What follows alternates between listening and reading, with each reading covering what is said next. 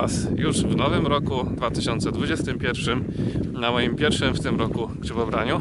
Mamy 6 stycznia mm, i od strony Woli Zabierzowskiej będziemy sobie penetrowali obrzeża Puszczy Niepołomickiej.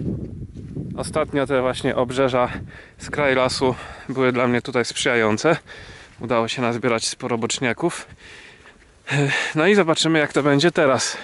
Pogoda ani nie jest jakaś idealna niestety, jak widzicie, ani też y, warunki atmosferyczne panujące w minionych dniach nie wykluczają obecności grzybów, zwłaszcza grzybów zimowych, nadrzewnych. Więc y, trzeba będzie spróbować. Zobaczymy, czy las i los się do mnie w tym nowym roku uśmiechnie.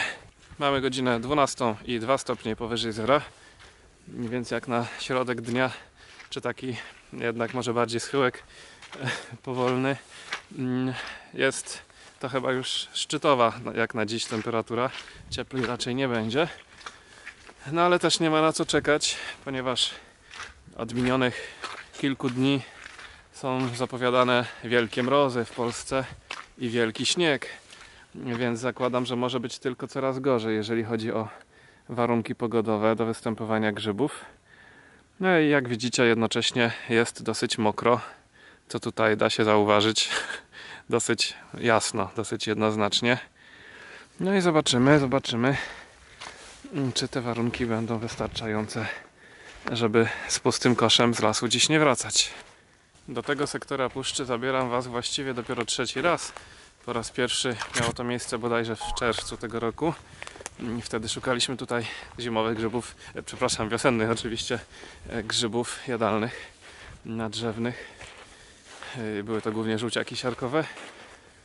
E, No i dosyć rzadko tutaj właśnie od tej strony e, wchodzę, m, przeważnie jednak penetrując północną część Puszczy Niepołomickiej ale dziś, jako że mamy dzień wolny od pracy, na pewno tłumy ludzi w tych bardziej dostępnych, łatwiej dostępnych rejonach Puszczy Niepołomickiej będą krążyły.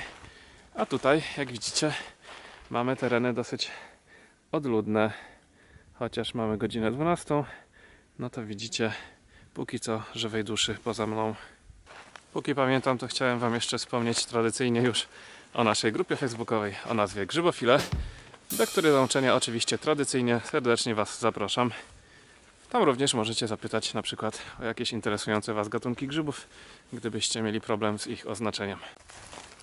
Takie obrzeża lasów w dodatku w terenach dosyć podmokłych to są właśnie idealne miejsca, żeby szukać czy to uszaków bzowych, czy to płomiennic zimowych, czy to boczniaków ostrygowatych.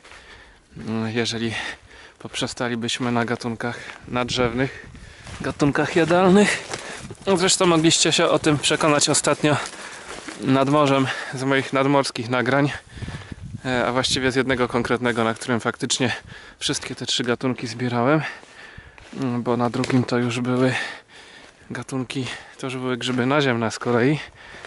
Mm, Tak więc warunki są odpowiednie, teoretycznie. Natomiast czy w praktyce, akurat w tym okresie, gdy ja tutaj jestem, właśnie dziś e, jakieś owocniki się pojawią na mojej drodze, no to nigdy nie można być pewnym. W szczególności zwalniam marsz w miejscach takich jak to. Spójrzcie, tutaj mamy od groma martwego drewna, zalegającego bezpośrednio na mocno wilgotnym podłożu. Więc tutaj warto skupić wzrok, bo miło by było chociaż jakąś małą kępkę mm, płomiennicy czy boczniaków znaleźć. Nie mam jakichś e, olbrzymich aspiracji, żeby to były nie wiadomo jakie zbiory. Jestem po prostu ciekaw, jak się Puszcza Niepołomicka miewa na początku 2021 roku, jeśli chodzi o grzyby. Zwłaszcza jeżeli faktycznie zapowiadane olbrzymie mrozy nadejdą w najbliższych dniach i zetną zupełnie grzyby, uniemożliwią owocnikowanie. Więc trzeba korzystać, póki jest możliwość i szanse, przynajmniej teoretycznie, są dosyć spore. No chyba, że ktoś tutaj już był w minionych dniach. i wyzbierał najbardziej interesujące mnie grzyby. Co nie jest wykluczone, zwłaszcza, że idziemy sobie z krajem lasu, więc tak mm, troszkę takim duktem wydeptanym. Wydeptanym pewnie głównie przez leśników, może przez myśliwych. O tej porze roku to raczej nie przez grzybiarzy. No ale jednak mimo wszystko, jakby ktoś tutaj natrafił przypadkiem na boczniaka, to myślę, żeby nim nie wzgardził. A jeśli mało Wam wody w tym nagraniu, to mamy nawet taką jakże sympatyczną rzeczkę. Nie za dużą, ale nawet troszkę sobie szemrzącą. Nie jest to co prawda górski strumień, ale zawsze coś.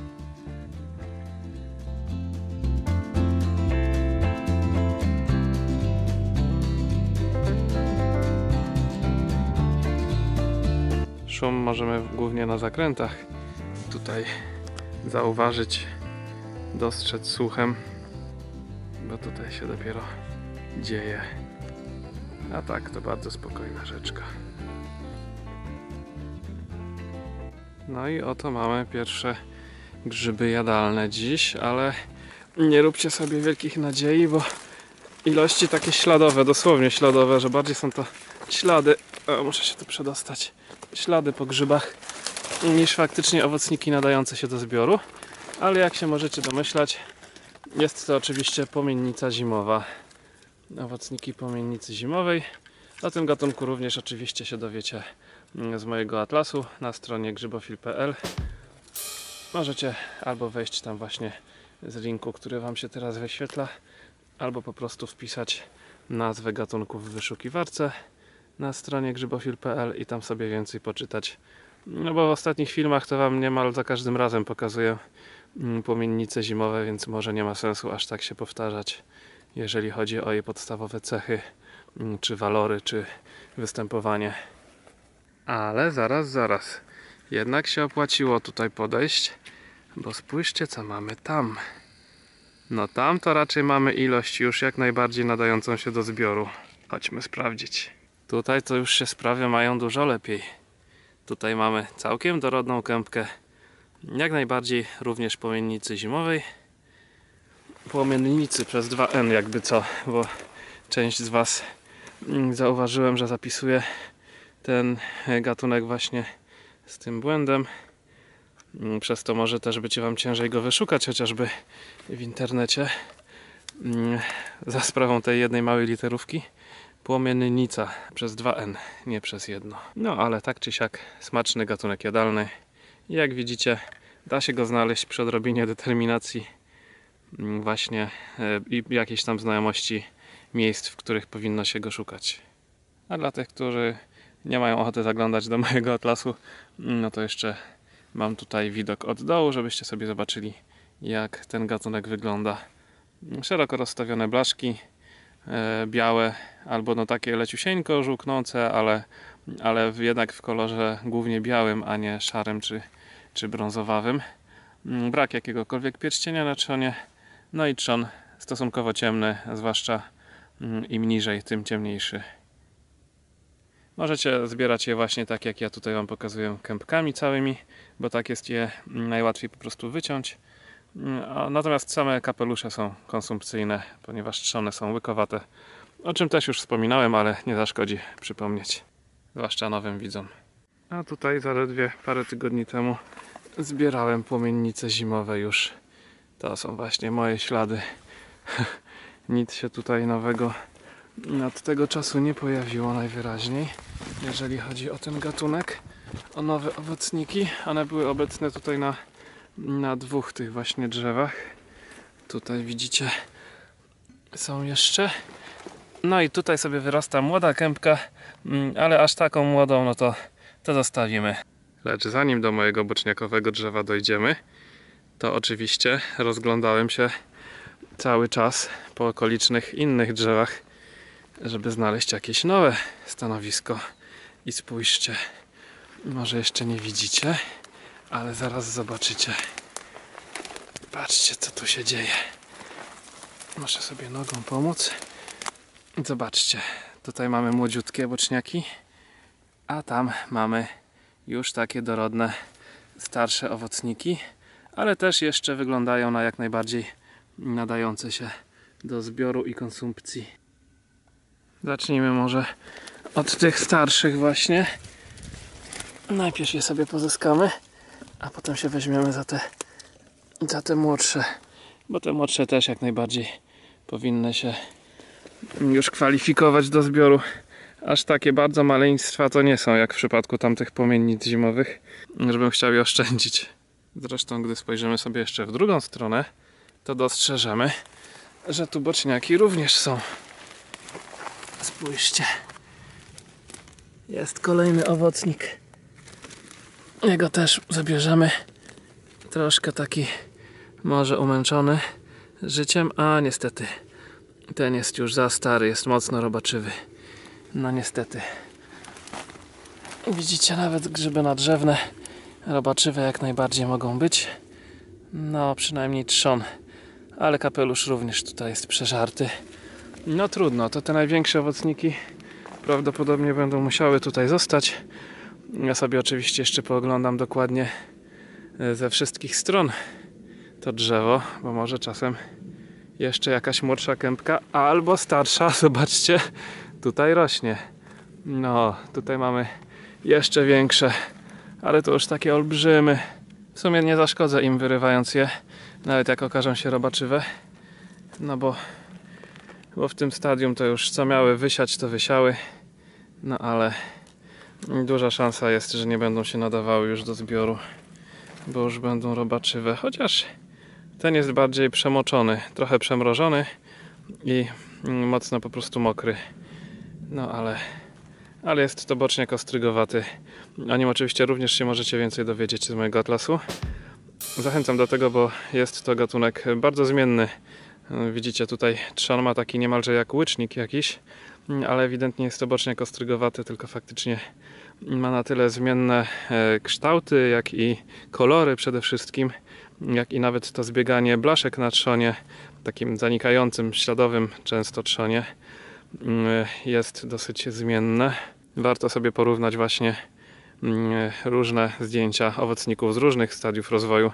Ten jest mocno stary, stąd już ten trzon też jest no, dosyć mocno wyodrębniony, lekko taki omszony, ale jednocześnie kolorystycznie on się nie różni jakoś wyraźnie od reszty owocnika jak to by miało miejsce chociażby w przypadku łycznika późnego. Chociaż filmowanie tych chaszczy może Wam się jakieś atrakcyjne bardzo nie wydaje, e, ale i tak, tak pokrótce Wam tylko chciałem pokazać, że jeszcze są tam, przepraszam, że palcem, tam, tam to już są giganty. Te to się mogą nie nadawać do konsumpcji, ale zaraz sprawdzę.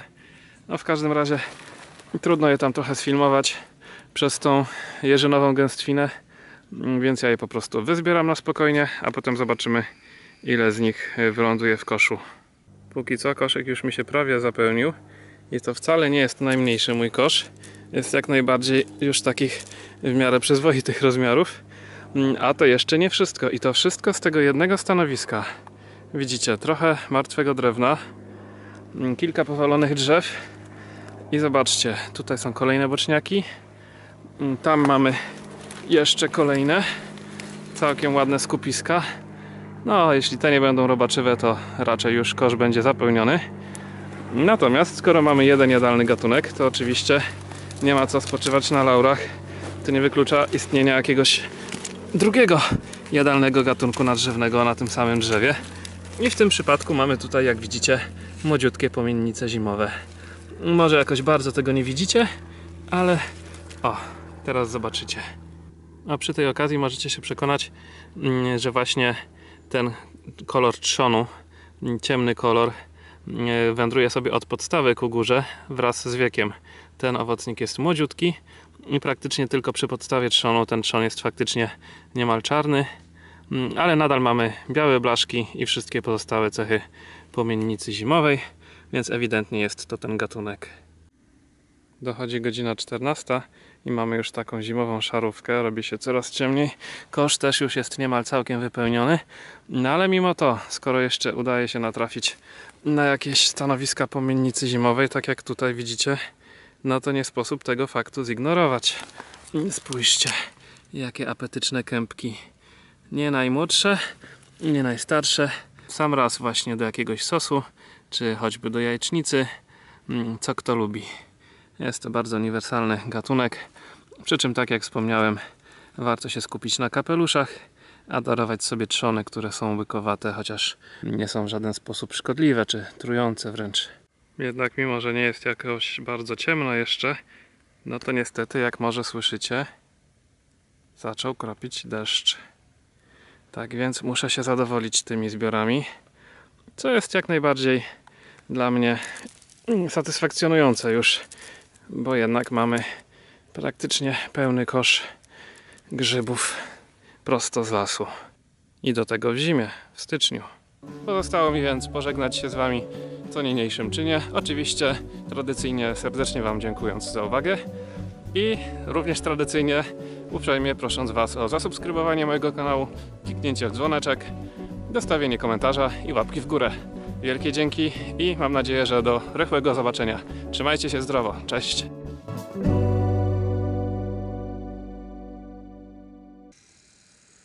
Pobiegło sobie stado.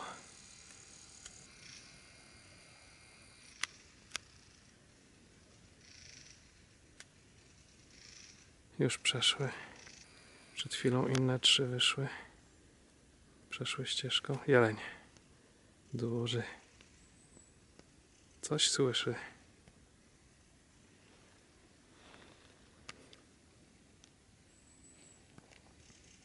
Ładne poroże. Dumnie pręży. A tam jest następny właśnie. Czekał na niego. No przyjemne bardzo spotkanie. Dla mnie. Teraz są tam, ale jest za ciemno. No chyba zauważyły, tak. Teraz już wiedzą, że trzeba wiać. E, trochę ich jest. Ojej. Dużo.